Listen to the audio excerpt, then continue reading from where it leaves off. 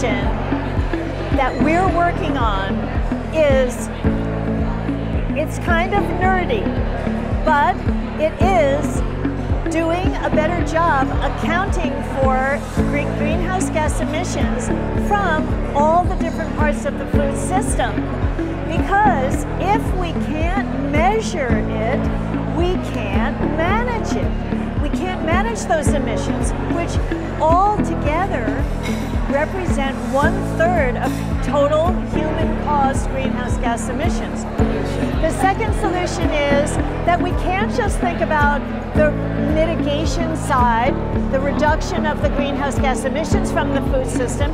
We have to prepare the food system to be climate resilient to the climate shocks that are happening already and are getting to be happening more frequently, more intensely, and are lasting longer. Droughts and floods and uh, heat waves onto the crops that are really hurting the farmers all over the world now.